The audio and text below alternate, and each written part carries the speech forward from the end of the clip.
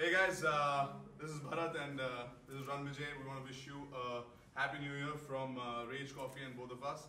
And uh, stay tuned because early next year we're going to tell you a huge announcement. Best of luck.